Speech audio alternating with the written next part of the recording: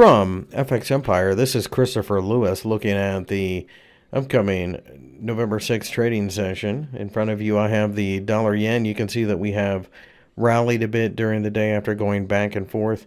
Uh, the 114 and a half level is offering resistance, and I think that resistance extends to the 115 handle. A break above there should send this market much higher.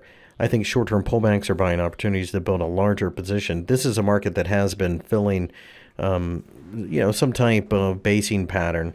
Uh, I think eventually the buyers take over as the 10 year note uh, should continue to um, rise in interest rates due to the Federal Reserve, uh, especially in relation to the Japanese 10 year note. So, longer term, I think we go higher.